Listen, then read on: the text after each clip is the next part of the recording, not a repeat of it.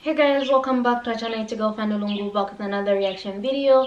If you're new to this channel, make sure to give this video a thumbs up, share it with your friends, and of course, do not forget to subscribe. So today, I'm going to be reacting to when Prophet Muhammad's son died.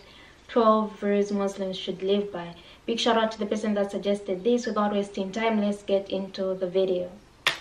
Mm.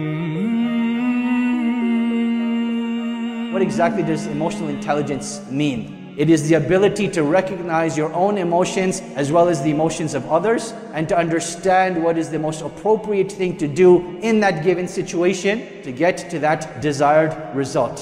When you look at the Prophet ﷺ and his son Ibrahim passing away, when Ibrahim passed away, the Prophet ﷺ wasn't actually there. So the Prophet ﷺ comes back and he hears the news that Ibrahim has passed away. And he kisses Ibrahim at that time and he starts to cry. Tears start to come out of his eyes. And then at that time, Abdurrahman ibn Auf, or it could have been another companion according to other narrations, he asked the Messenger of Allah sallallahu alaihi wasallam, "O Messenger of Allah, even someone like you is crying?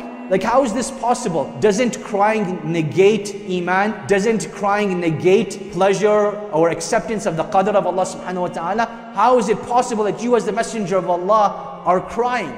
Because that was his understanding of what crying meant. That if you cry, you're weak in iman and you're displeased with the qadr of Allah subhanahu wa ta'ala. And the Prophet ﷺ puts things into perspective when he says that indeed crying is a mercy from Allah subhanahu wa ta'ala. That indeed the eyes will shed tears, the heart will grieve, but the tongue will only say that which is pleasing to Allah subhanahu wa ta'ala. And if I was to look at emotional intelligence, I would say this is like the foundational hadith under the chapter of emotional intelligence. His son has passed away, and that it is only natural and human to grieve during that time.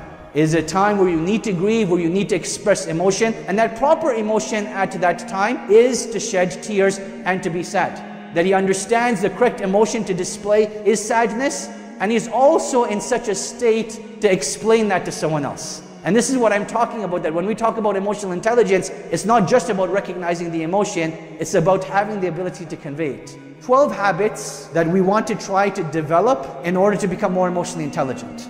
Number one, to think about our feelings. Oftentimes, speaking about emotions is something that is put in a negative light. Particularly the way men will talk to women, it becomes very, very clear. Why are you being so emotional? We hear that all the time. And this brings to light that emotions are, are something negative. But in reality, this is couldn't be further from the truth.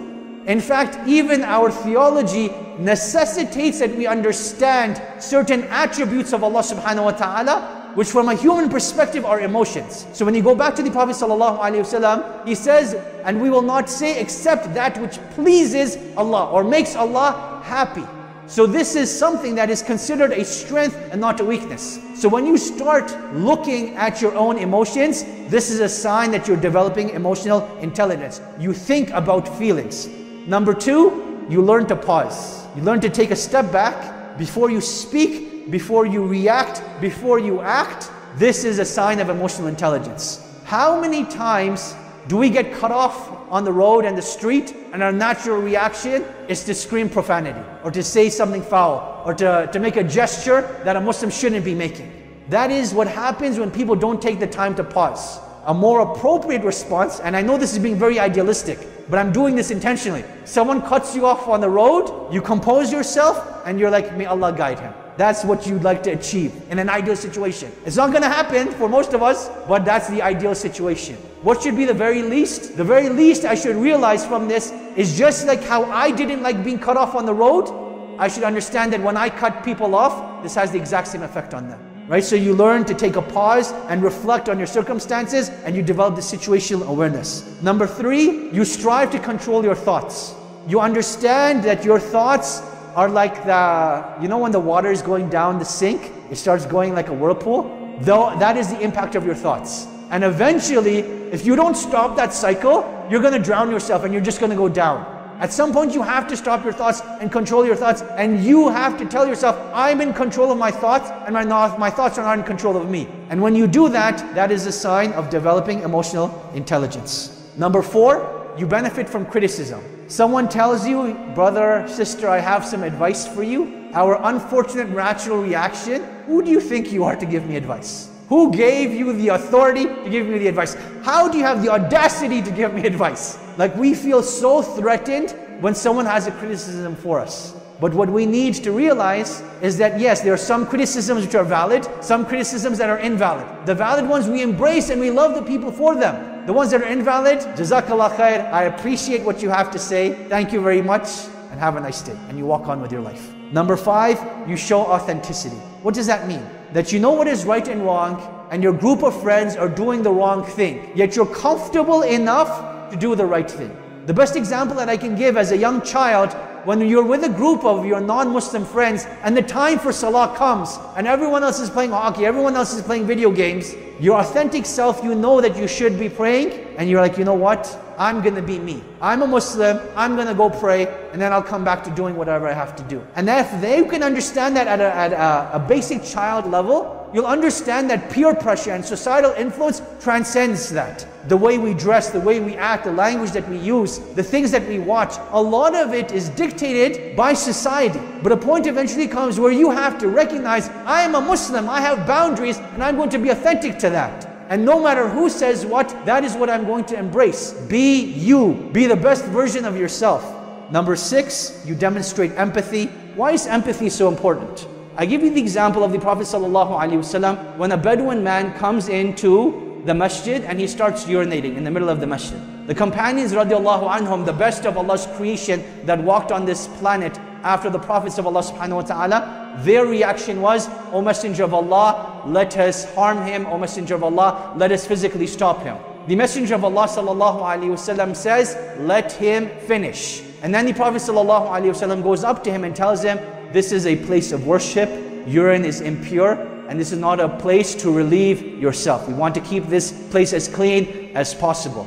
The man's reaction, may Allah have mercy upon me, upon you, and upon no one else. Why? Because the Prophet ﷺ had empathized with him. Where is the empathy? He recognized that this man was a Bedouin man. He wasn't from the city, meaning that he wasn't as educated, he wasn't as literate as perhaps the dwellers of the city were. The Bedouins were just farmers and caretakers of, of the desert. They were shepherds. That's all they knew. And this man perhaps was new to Islam. He didn't know the sanctity of the masjid and he didn't know about the impurity of urine. So he takes the time to explain this to him in the nicest possible way. And then what do you get? That desired outcome that we keep talking about. May Allah have mercy upon me and upon you and upon no one else. Number seven, you're comfortable praising others. Someone does something good, you should be able to say, man, that is amazing, mashallah. Or jazakallah khair for doing that. Or thank you so much, may Allah bless you. Like praising people for the work that they do, is a quality of strength, not a quality of weakness. People develop jealousy and envy in the hearts because they've given up praising people. One of the best ways to protect your heart from jealousy and envy is to praise people for the good that they do. Number eight, you give helpful feedback. As in Ummah, we love to criticize. We want to point out, hey, you know what? There's water dripping from the ceiling somewhere in the musalla, but we fail to look at the 99.99% of the other amazing facilities that the musalla has. So when you give feedback, give constructive, positive feedback and don't, don't be the, the negative person. Don't be the person that wants to pinpoint the negative. Try to give, be an individual that actually gives feedback that is helpful. You know what? This is what is wrong and this is how I think you should fix it rather than just be the person that points out the wrong. Number nine, you have no problem apologizing. Apologizing in particularly without giving an excuse. You'll notice that people most of them, inshallah, they'll give an apology. But often they'll want to justify it. When you hurt someone, when you do something wrong, don't justify it. Say, I am sorry.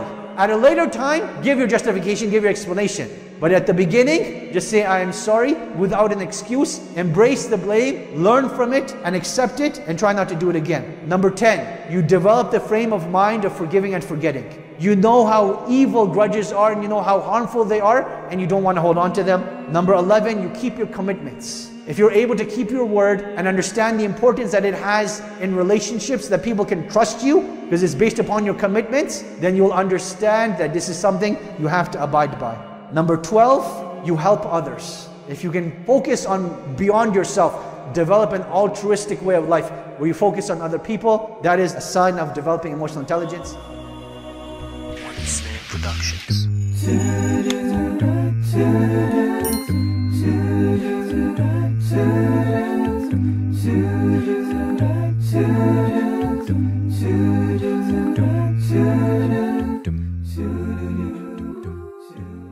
Love, love the message and the words. I mean, crying is just the way people express themselves sometimes, and others actually don't even cry, even if someone uh, dies. But it's an emotion that occupies us once in a while um, the, the rules i really can't talk about all of them but they're just great rules that everyone can live by if we lived like this i'm sure the world um, around us would even be better. Let's learn to praise our friends, clap for our friends when they're successful. Let's learn to pause before we say something. Uh, even if we're upset, it doesn't give us the right to say something bad to the people that we love. We're supposed to take in the moment, even if we're not understanding what's going on. We should whether we should be responsible for how we respond. You can just say, okay, let's talk about this later than saying very bad words to bring someone down and yeah like i said the rest of the uh, rules were very very interesting and i hope we can all practice them pra- practice them in our lives let me know what you guys think and a big shout out to the person that actually suggested these make sure to give this video a thumbs up share it with your friends and of course do not forget to subscribe and i'll see you in my next reaction video